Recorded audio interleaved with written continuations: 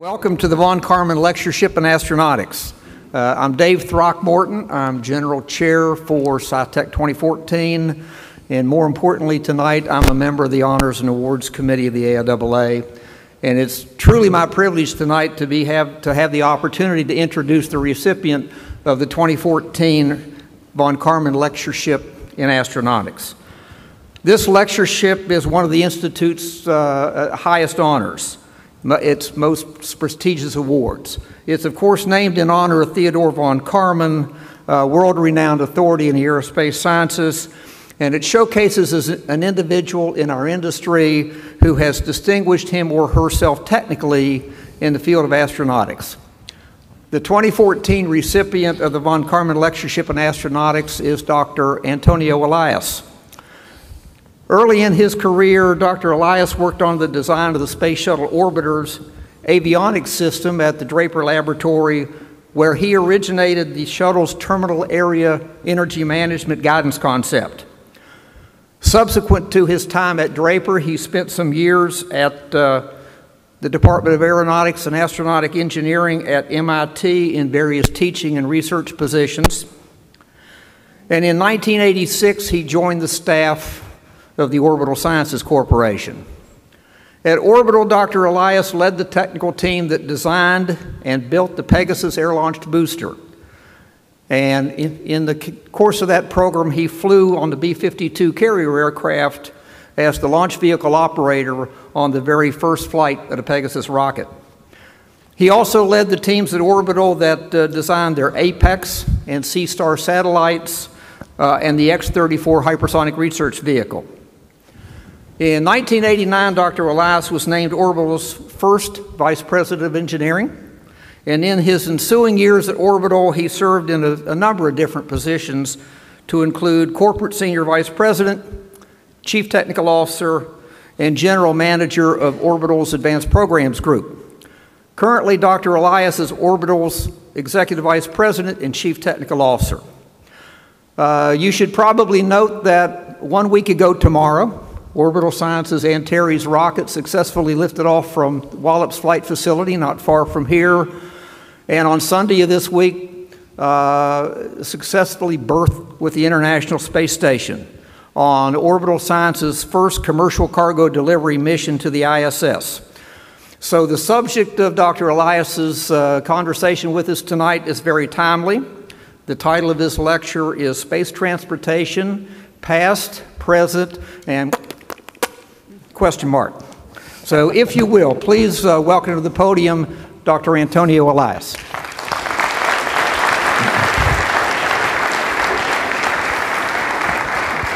Go get him.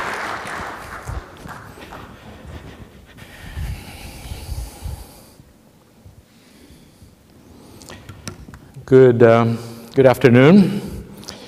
When I uh, accepted to um, give this little speech um, a few months ago, and we chose this uh, topic of space transportation. I didn't think really very well about it. so I decided to go to the Merriam-Webster dictionary and find out what the definition of the transitive word transport, verb transportation was. And I found not one but three definitions. And the first one is the obvious one to carry something or somebody from one place to another. But I found the other two exceptions being equally applicable to our topic today. The second one is to cause somebody to imagine that he or she is in a different place or time. And the third one is to cause somebody to feel very happy, interested, or excited. Now, the event that David mentioned earlier, the launch of the Antares rocket uh, on Thursday, and the berthing of the Cygnus spacecraft, and your little Freudian slip actually helps the case that I'm going to try and do today. Um, for me, that was not only an example of transportation, definitely you can say that carrying cargo from Earth to the space station is to carry something from one place to another. But at least for me, it caused me to imagine that I was at least in a different place. I wish I were there. There are people in this audience that have been there, like Frank Culbertson. And it certainly caused me to feel very happy, interested, and excited. However, if you look back at 2013, only 11 of the 82 space launches that were attempted in 2013 had at its destination the space station. So, does, does that mean the other 85% are not transportation? Um, well, certainly in terms of public interest, I was very disappointed that at our mission control room on Sunday, there was one journalist, one NASA dignitary, Bill Wrobel, and us chickens. Whereas at the launch at Wallops on Thursday, it was crowded. I mean, I, I, had to change hotels because I could not get an entire reservation. People flocked. There were people at the hotel breakfast um, nook that said, Oh, we've driven from Pennsylvania to watch this launch. There is something about space launch that excites people and transports them to a different place in time a lot more than satellites and trivial things like that. Now, so what I'm going to talk about really is space launch. And before going to the past, present, and whatever else comes after present, there's a point I want to make that we sometimes tend to forget. And it's something that we have to remind not just ourselves, but everybody else that we interact with, which is the incredible amount of energy density, or the power that is involved in space launch. Some pun said that second only to nuclear warfare, space launch is the fastest way to destroy the most amount of value that mankind has ever devised. Let me give you some examples. Uh, if you look at the average US citizen, the per capita consumption of energy in the United States is about 10 kilowatts. Or let me put it in megawatts, and it's 0.01 megawatts. When you drive your nice 28 miles per gallon car at uh, 65 miles per hour in the highway, you are using about 85 kilowatts thermal.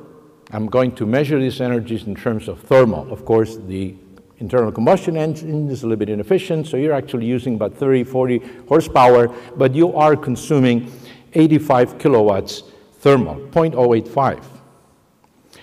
The, what's called an ultra-large crude carrier, ULCC, these are these incredible 650,000 pound dis, uh, tons displacement, displacement supercarriers, so big they can't even navigate the, the English Channel. Those consume about the same amount of fuel per hour as a Boeing 747. So curiously, those two modes of transportation um, consume about 170 thermal megawatts in its normal use. Now, the ultra-large cargo carrier goes very slow, 15, 16 knots. You go to a faster, larger ship like a nuclear aircraft carrier, and even though it has about 1,100 um, megawatts of thermal install, when it goes full blast, it consumes about 700 megawatts. Um, about 45 miles as the crow flies from here is the um, Calvert Cliffs, Maryland nuclear power plant. It has two nuclear reactors, and combined, they produce 5,400 megawatts or 5.4 gigawatts thermal.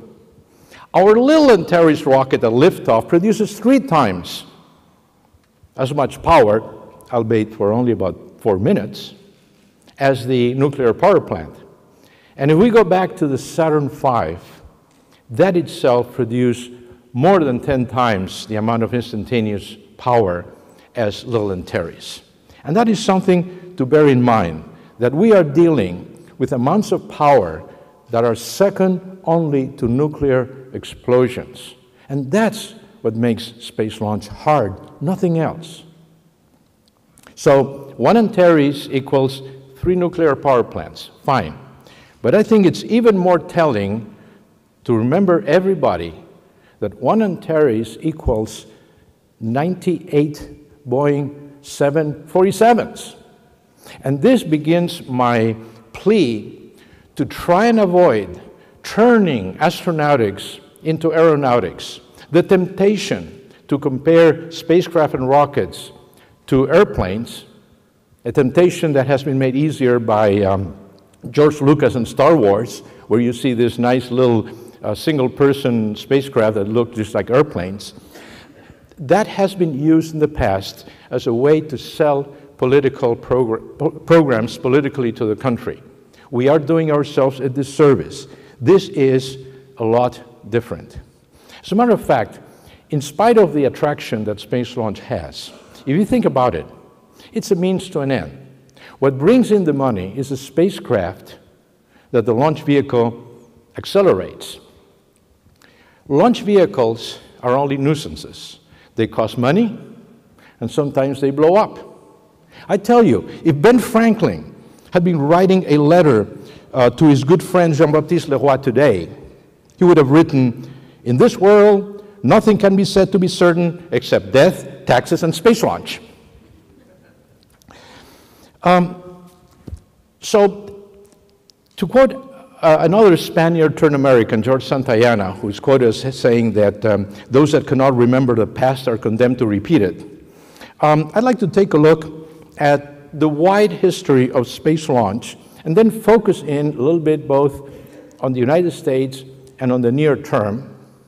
And I like to focus first on the issue of reliability and then on the issue of cost. Uh, this is my plot of the annual launch attempt rate since October 4th, 1957 to December 31st of last year.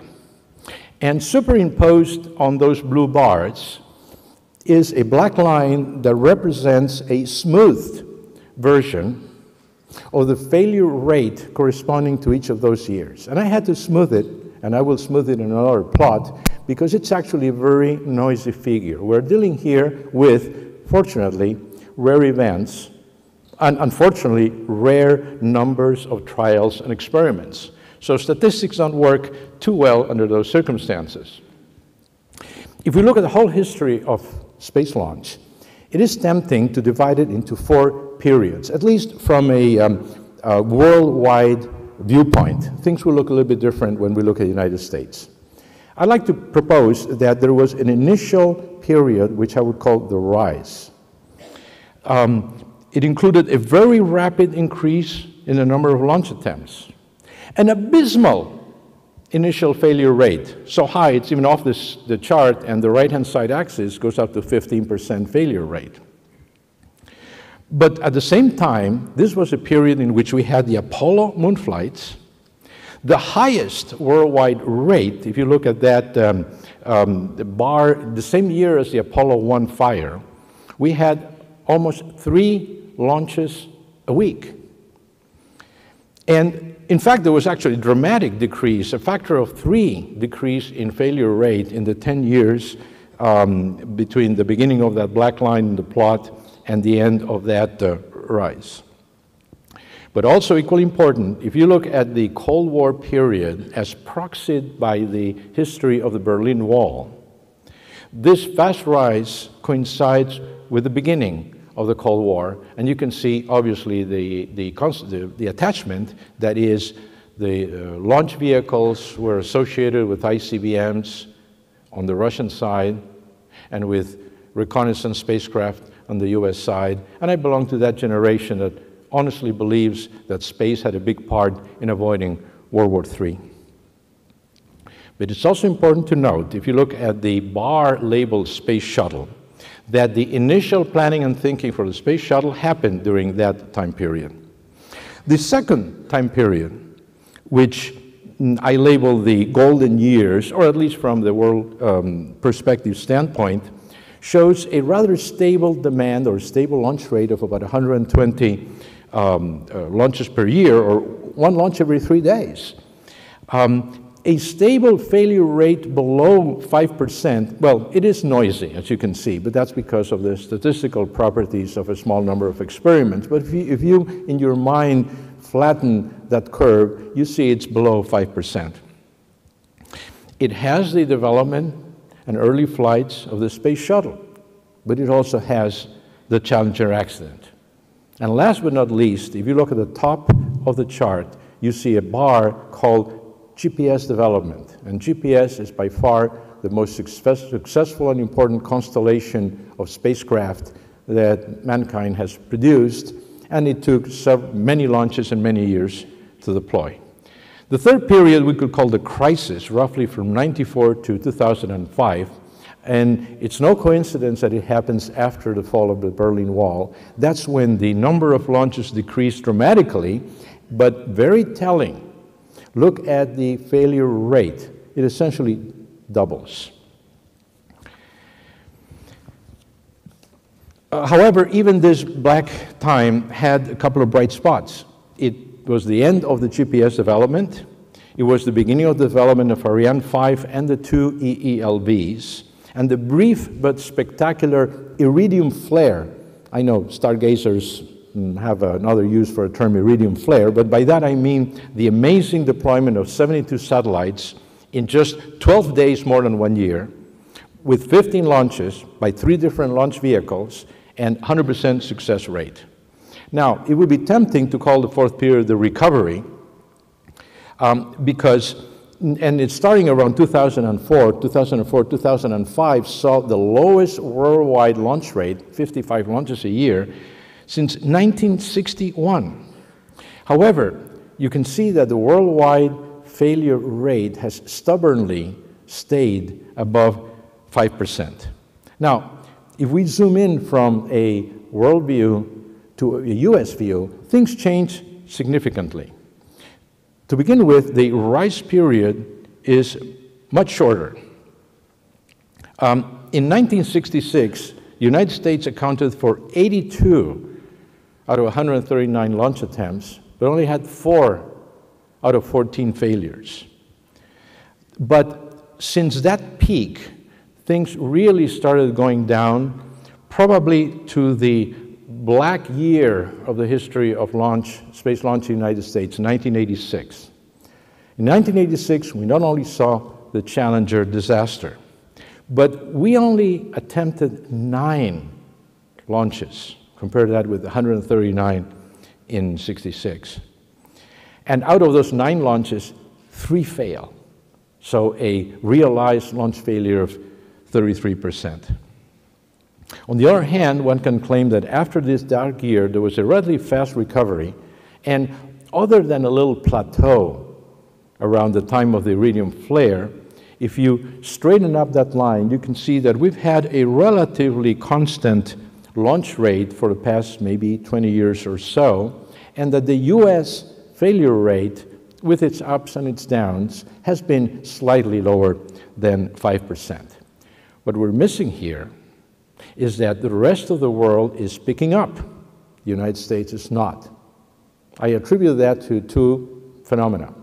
Number one, the increase in space activity in China. Number two, the decrease in the competitiveness of United States launch vehicles for commercial applications, which means business is flowing out of the United States. Now, th these are relatively uh, recent charts that I prepared for this lecture, so they, they end up at December 31st. I didn't have the time to update this also very telling history chart. This only goes to 2011, but the trend continues to 2013. You see here for each year the count of launch attempts divided into four size categories small, Pegasus, Minotaurs, uh, Falcon 1s, uh, uh, stuff like that. Medium, the obvious Delta 2s, the early Atlases, uh, Antares is a medium, and so on.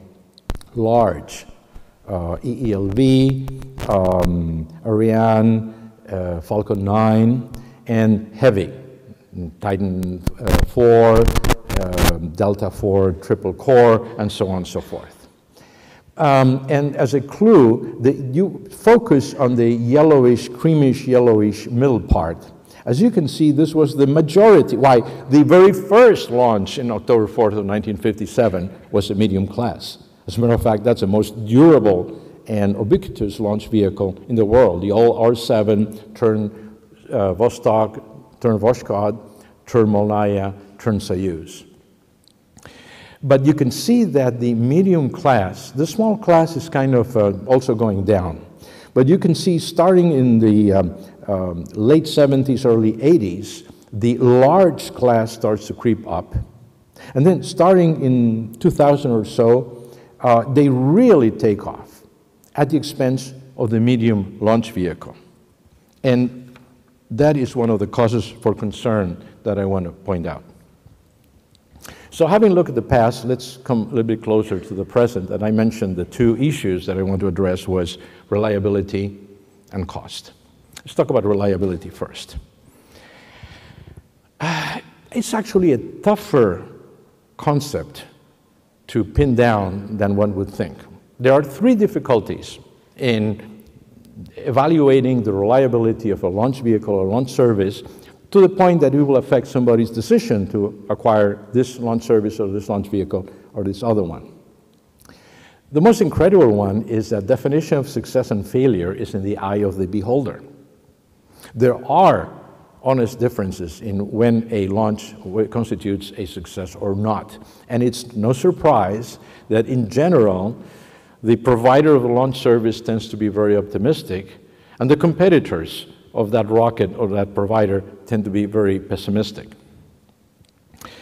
The second and associated problem is to a certain degree, reliability depends on doing things the way you did it before. So continuity of the design, continuity of the launch vehicle is important. Yet vehicles change and evolve. So do you look at specific individual models when you look at the historic reliability? Do you look at entire families? And again, just like in the definition of launch, the truth is probably somewhere in the middle. Um, give you an example of um, uh, differences of opinions in success. Orbital claims that three out of 42 Pegasus flights were failure. Others, mostly our competitors, claim there are four failures, not three. In terms of launch vehicles, um, SpaceX has recently transitioned their Falcon 9 from an initial version with a certain capability. This plot shows for the um, 30 years between 1984 and 1913 and 2013 the US failure rate versus the number of launches for that particular calendar year. Now, um, it, it, turns out that um, in, that, in those 30 years, there were 10 years with no failures, 13 years with only one failure, four years with two failures, um, one year, sorry, uh, two years with four failures. There was no year with exactly three failures. By the way, I'm one of those that counts the second shuttle accident as a launch failure. Even though the accident itself happened during reentry, it was caused by something that happened during launch. Also, for the shuttle, the distinction between launch and launch success and return, being a reusable launch vehicle, is intrinsic. So I called both of the shuttle accidents launch accidents. And that is why you see essentially three groupings of points. Um, there's obviously those years where there were no failures. Then the vast majority of the years are one failure, and obviously what you see there is simply the division of one by the number of launches that year. Then you see four points there with the two failures, and 95, 99, uh, and 86, which again, because there were only nine launches that year, the launch, the failure rate is 33%, so it's off scale.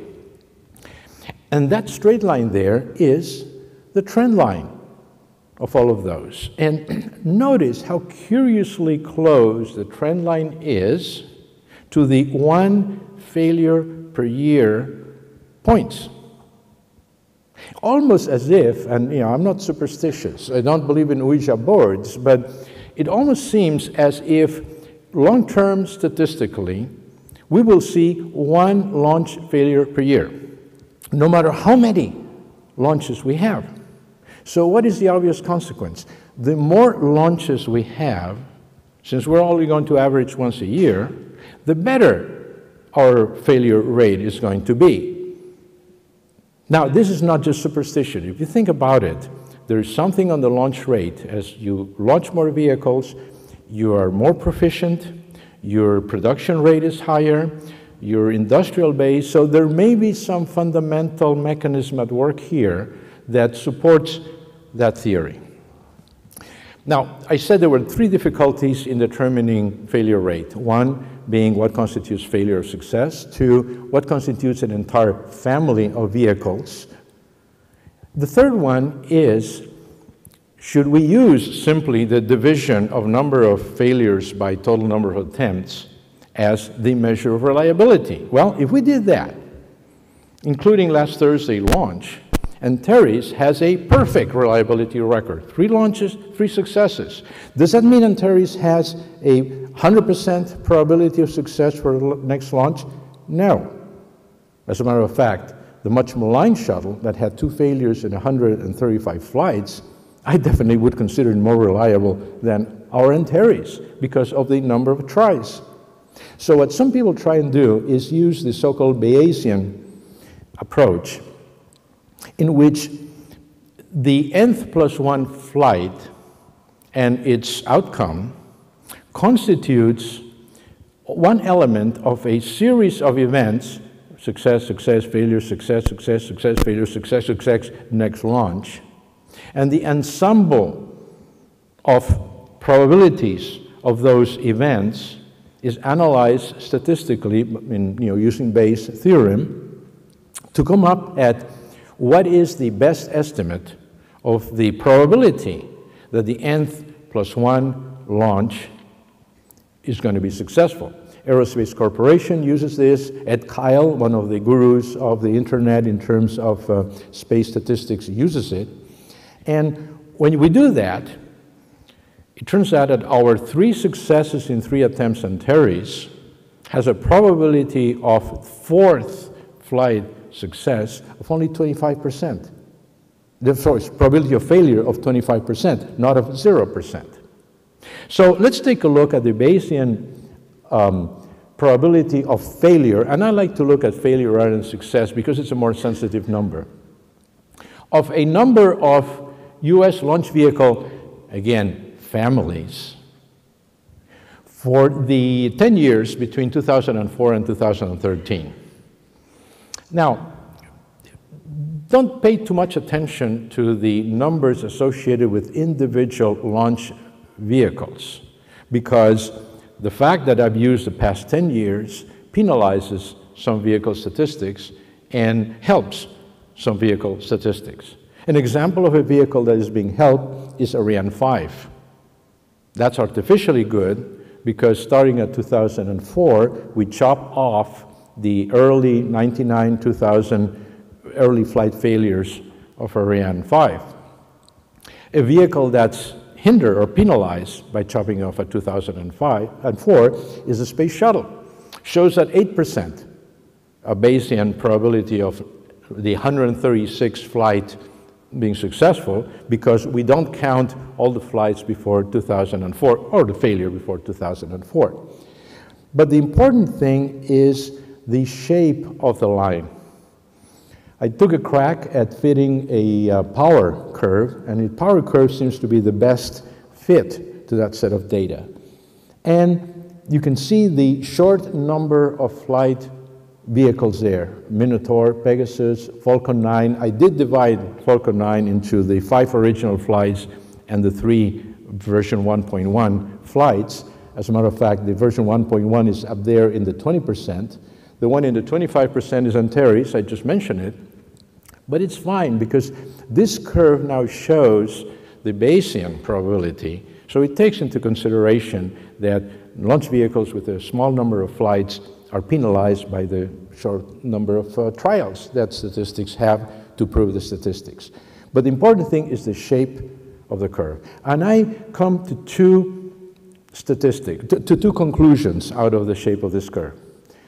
Number one, that in order to have a vehicle whose honest probability of success on the next launch is close to the historical average of 5% or better, you need something like 20 launches. The uh, second is that even at a very large number of launch attempts, something like 3%, 4% is close to the asymptote of what you will ever get. So now that we've taken a look at reliability and where we are and what we can expect in the future, let me take a crack at the issue of cost. Now, this is a very emotional issue. If I had here Mike Gass on this side of the room and Elon Musk on that side of the room, we'd see some nice sparks flying as to what constitutes expensive or not expensive, costly or not costly. So I tried a little mental experiment. I've taken three, what I call uh, milestone vehicles, three large Western workhorse vehicle, uh, vehicles, the two EELVs and the Ariane 5. And I've tried the following mental experiment. Follow me with a little bit of patience, if you will. To begin with, I tried to estimate in 2013 dollars, very important, what customers have paid for the last 10 years of operation of these two launch vehicles. Since we are providers of commercial geocoms, we have pretty good insight on the commercial market for ge geotransfer orbit launches and what a good estimate is of the average 2013 dollar prices that Ariane 5 customers have paid. So the number I came up with is about $11.3 billion. Again, I emphasized in 2013 dollars. If you were to talk to uh, Monsieur Israel, um, he would say, well, if I add up all the money they've given me, I don't come up with that number. That's because they were in then year dollars. Figuring out the corresponding amount for the ELV is even tougher. What I did is I went to the uh, July 2012 Government Accountability um, Office study on EELVs. And they were answering a different question. They were answering why is it that ELVs cost more than was what's originally planned? So their concern was uh, Nunn-McCurdy breaches and increases in cost and so on. However, in addressing that issue, they came up with the best estimate I've seen so far of the total program cost to the government of EELV, and they mention, as part of that study how much Boeing and Lockheed put on the development program at the very beginning. So that is the total expenditure that the ELV program had from its inception to actually later in history when they would have completed a certain number of flights. And they were kind enough to divide it into the Atlas V part and the Delta IV part. What they were not willing to provide was how the, whereas the, on the Atlas V, even though there are nine different configurations of Atlas Vs, you can pretty much average out the differences in cost. You cannot do the same thing for a Delta IV. So I had to make a bold assumption that Delta IVs come in a variety 1 and a variety 3 core. And I essentially divided the total cost by number of cores, both built and projected to be built under this budget and derive a very artificial, I must admit, price per delta 4 core. And then I simply said a delta 4 heavy is three times a average single core delta. Very crude assumption, but that's the best I could do in order to Mm, arrive at those 13 billion and 11.7 billion dollar figures. I then took the actual number of flights in those 10 years, looked at the specific performance for each of the models of Ariane, Atlas, and Delta used. And I used the GTO capability because that is a common, relatively large market for this class of vehicles. And I come up with almost a three to one difference in the average dollars per kilogram between Ariane 5 and Delta 4. That's why I said that Mike Gass will probably be waiting with, for me with a bat at the exit of the garage. Why is that? I totally refuse to believe that that's because of some mm, higher competence of the French, I mean, European engineers or European managers over the American managers. I totally refuse to believe it's some dastardly conspiracy to keep prices high by anybody in the government or at ULA. It has to have some intrinsic reason. What are the differences between these two launch vehicle systems? To begin with, the number of flights. Ariane, with its five different configurations, is still one vehicle serving one market. For historical reasons you're all familiar with, the US government chose to force Atlas and Delta to coexist as self competing vehicles in a single market, therefore, almost automatically chopping the rates by a factor of two for a given market. Ariane has a single launch location in French Guiana. EELV has to provide separate launch locations mm, for in the East Coast and the West Coast for each of the two launch vehicles. And finally, EELV has to operate under a um, cost reimbursable contracting form where their costs are scrutinized and their fees are based on a percentage of those costs. And they have very little incentive or ability to negotiate and perform cost cutting Uh, activities on their own. Ariane, on the other hand, competes in the external market. If their costs are high, people will go to Proton or, God forbid, to SpaceX. So I call this by the way, you should realize, you know, that yes, we are competing with SpaceX on the CRS Space Station resupply market, but the first two commercial GEO spacecraft that SpaceX has launched successfully, SES-8 and Thaicom-6, were built by Orbital. And I was there the, uh, at the launch of uh, SES-8. I was in the same room with Elon. So, you know, we're, we're very good friends, so to speak. Certainly, learning curve is one of the components of this difference. Our experience in building, uh, we're up to our fifth Antares airframe being put together right now, and our seventh, uh, sixth Cygnus uh, service module being put together. Our experience is if the, that if you set aside fixed costs, and look exclusively at the recurring operation of fabricating the same launch vehicle or the same satellite, the learning curve of your labor, the economies of procurement in, of supplies in batches, lead to a learning curve in the classical uh, use of the term of anywhere between 0.7 and 0.8. So 0.75 is probably a good assumption of what the learning curve is. If you look at the points labeled delta 4, Atlas 5, you see that those two happen to lie on the learning curve of 0.84. So if the only difference between those two launch vehicles was rate, it would show 0.84. So something else is at work. If you look at Ariane 5 and where it should be on the, say, 0.75 learning curve, you have that bar there with a question mark for other things that have changed.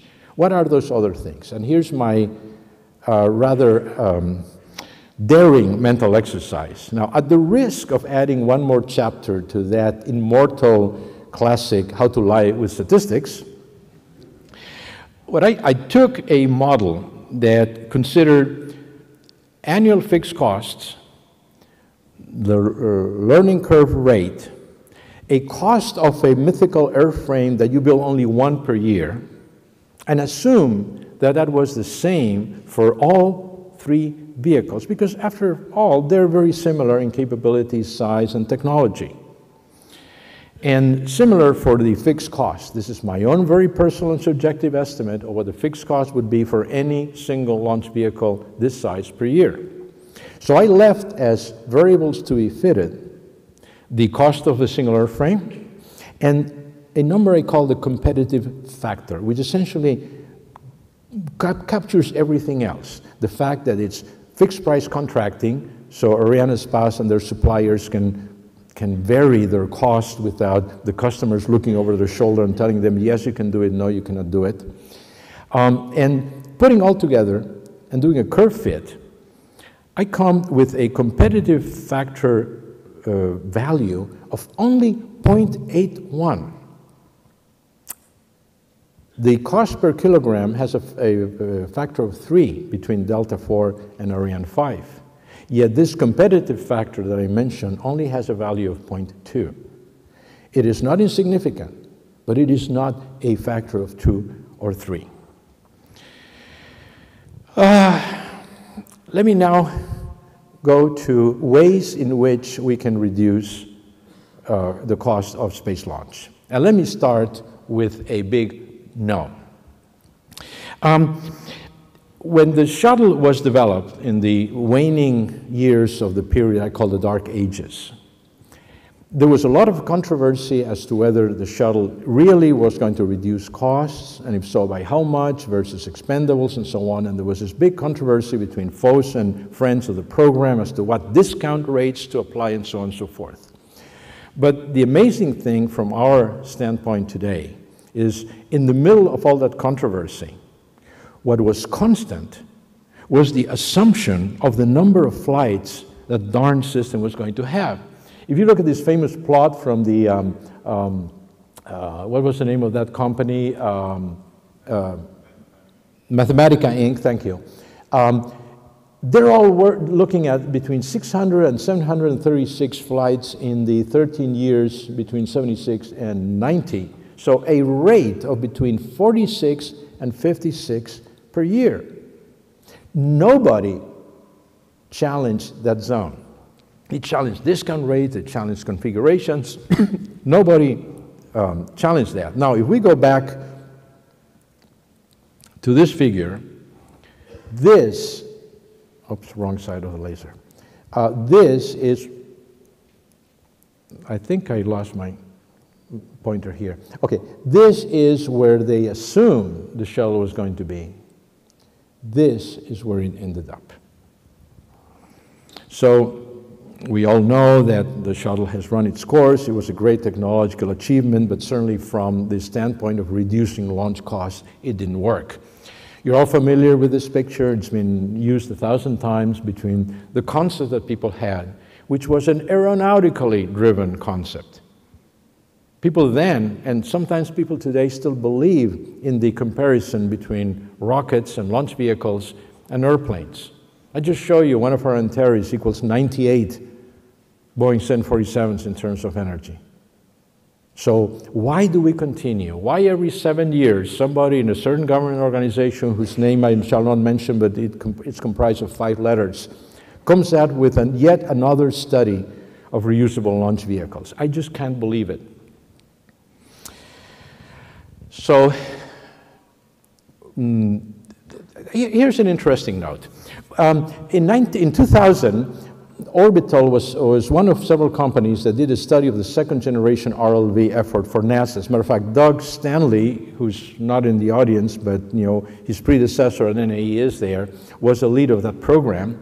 And uh, he pointed out to me that if we were to do a reusable launch vehicle in 2000, the sweet spot in number of flights that would justify reusability was also 50 to 60, just like in the mathematic analysis in 1972. And we were wondering why this was the case, and he reminded me that the basic performance of a launch vehicle is determined by two physical parameters, specific impulse and structural mass fraction. Specific impulse for engines that lift off from the surface of the Earth is determined by the amount of energy in either um, uh, ionic or covalent bonds that mm, essentially determine the reaction energy of chemical reactions. And the Space Shuttle main engine, developed in the mid 80s, represents the 98% utilization of the available chemical bond energy in the best possible propellant pair that we know, liquid hydrogen and liquid oxygen. Structures, the key physical force is the intergranular force that keeps uh, polygranular, uh, polycrystalline materials, which are all of the things that we know about today yet until we find out how to build a, a nanotube single molecule fuel tank. We're also the 98%. Compare that with Moore's law that says that every two years or so, the number of transistors doubles on consumer electronics, and we are years away from hitting the physical limits of quantum physics or principle of indetermination or so on and so forth.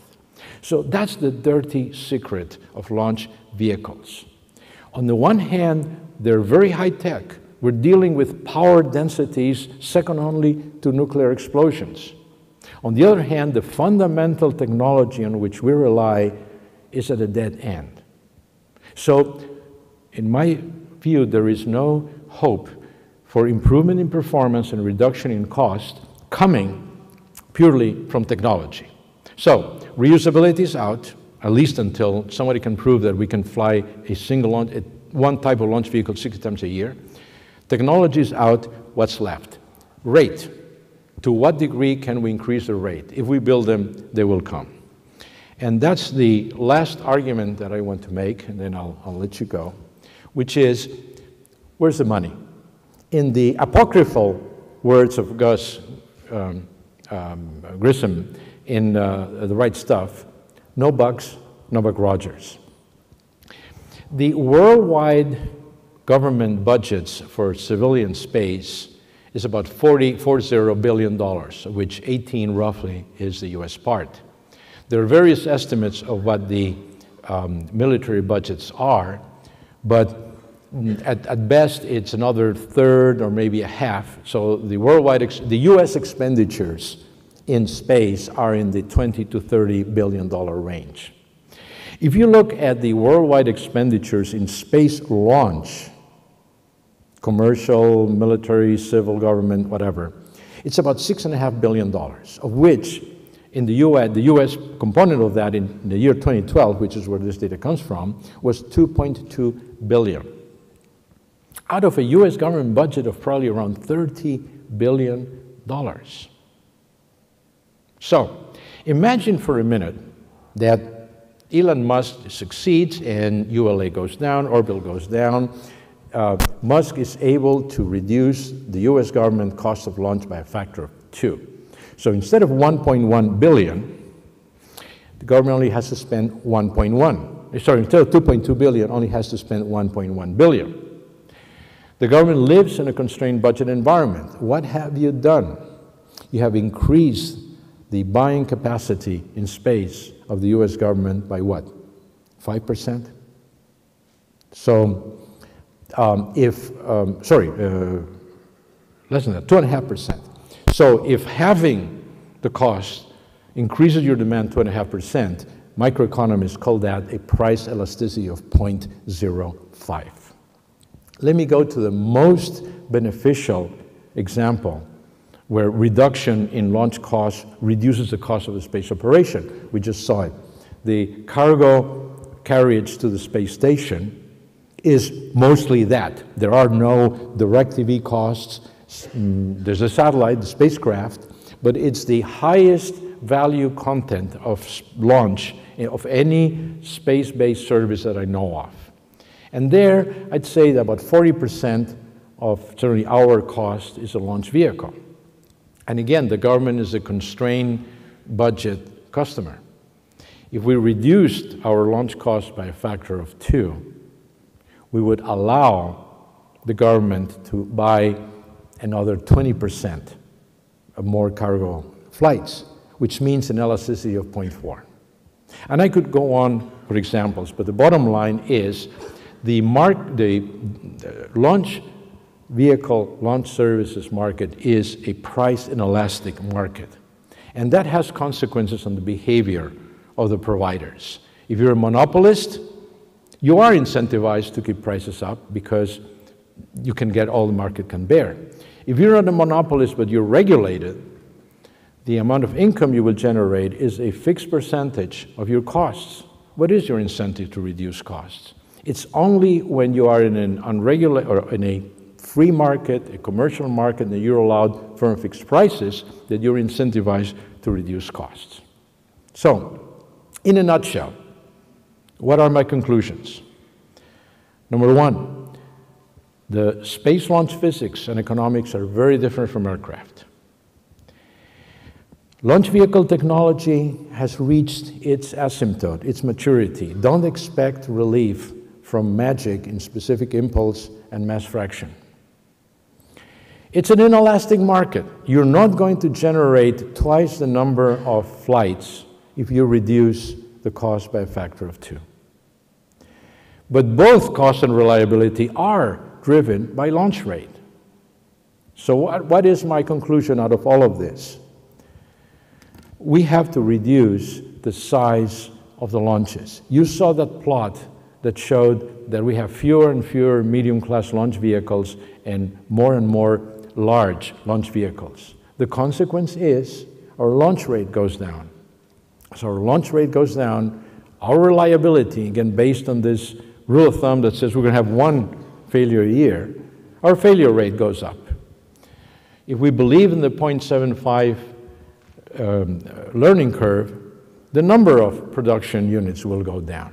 So the answer is in the customer base that they should move down from very large satellites, very expensive satellites, to more modest class satellites, and that will increase the launch rate. And finally, for those customers that are still in a cost plus, cost reimbursable negotiation oversight purchase of launch vehicles, stop, cease and desist. Take a page from SES and um, Thaicom that took a commercial risk in placing their satellites on an unproven but lower cost, firm fixed price, commercially competitive launch vehicle. Doesn't matter who builds it. The fact is that Falcon 9 is a commercially priced, um, fixed price contracted vehicle. So these are my consequences. I uh, thank you for your patience. I apologize for the delay. I uh, hope you have a rest of, nice rest of the conference. Thanks.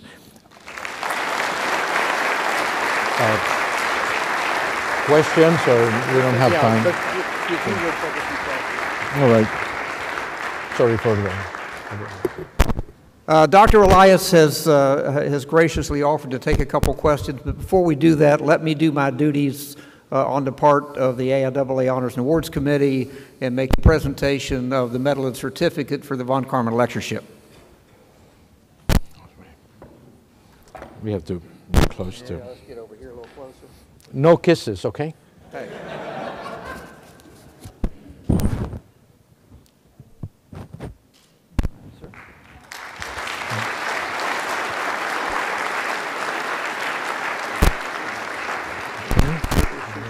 And I guess that. Uh, Let's play, let's play this the other way. okay, all right.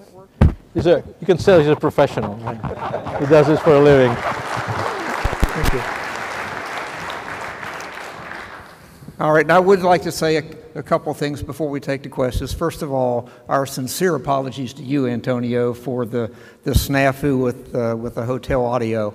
Uh, what a shame, but we appreciate uh, your willingness to press forward and, uh, and let us get that fixed for you. Secondly, you implied when you came up here that I had made a Freudian slip. No one on the front row seemed to notice it, but if indeed I suggested that on Sunday of this week you grappled a dragon at ISS as opposed to a Cygnus, you know, I sincerely mm-hmm. apologize to you, to David Thompson and Frank Culbertson. No, that was not a Freudian slip, Dave. You said and Antares went to the space station. Oh, And that is actually what a lot of people think. A lot of the tourists that went to Wallops on Thursday that I talked with was convinced that that big thing was going to go to the space station. And it's amazing how people in, in, in the community and in the country do not know what a satellite or what a spacecraft is. Well, it's a rocket that goes to space, right? Everybody knows that. all right. Do we have anybody in the audience who might like to ask a question of Dr. Elias? You're kidding. Yes, sir.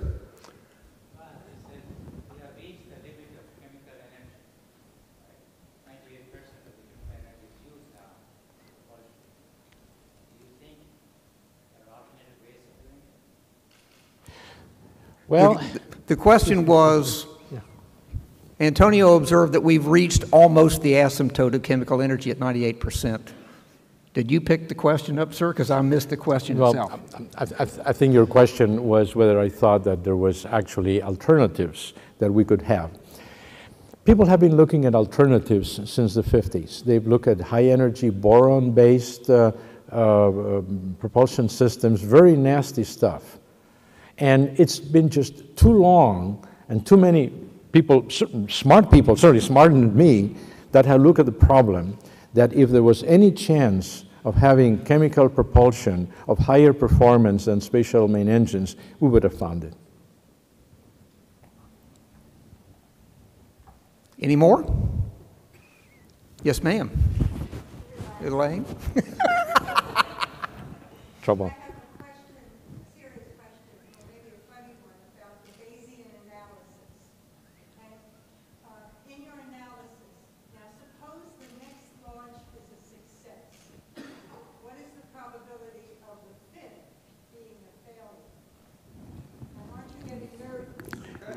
Yeah. Um, this is a question of Bayesian analysis. And, you know, if, if, it, if I have a certain probability that the fourth is a, is a success, what happens when I reach the fifth one? Am I nervous? Well, it's funny. I, I'm in the unique position of being both a provider of certain launch vehicles and a customer of certain launch vehicles. So it depends on which day you talk to me. If you talk to me as a provider day, I'd say, hey, Lane, no sweat, no problemo. By the way, I didn't invent Bayesian analysis. Aerospace Corporation uses it. And as I said, Ed Kyle in, in his uh, website has a very nice analysis, and he does a much better job than I did at figuring out this difference between families. And of course, he uses his own version of what constitutes a success or a failure. Now, Bayesian analysis is in a way more conservative than simply dividing the number of successes by the number of trials. But it's in, it's in a way a little bit too conservative because it, it essentially says that uh, statistics are blind, which is a favorite thought of statisticians. And I'm not sure I'm convinced of that. I think there is a certain purely random element to success, but there's also a method. If you haven't changed what you've done in the past, and you've done the same thing in the recent past, then your probability should be a little bit better than what straight Bayesian analysis produces. Okay, anyone else? Yes, sir.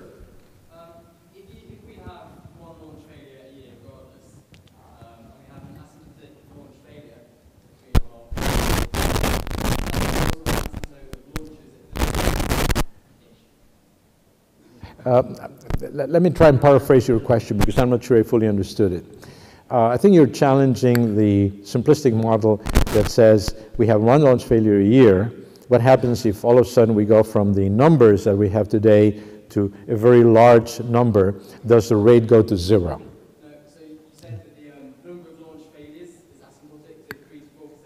Yeah. So you combine that with one launch.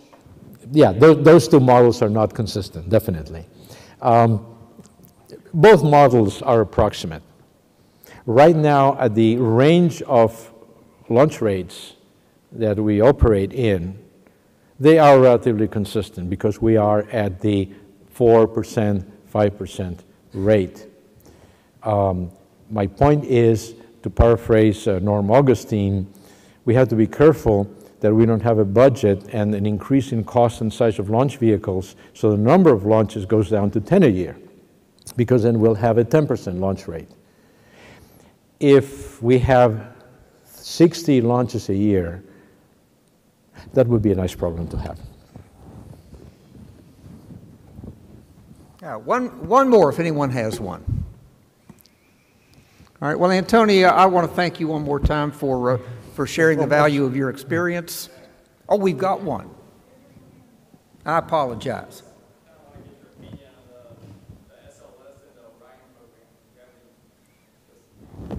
Opinion on Orion SLS? I'm going to go out on a limb here.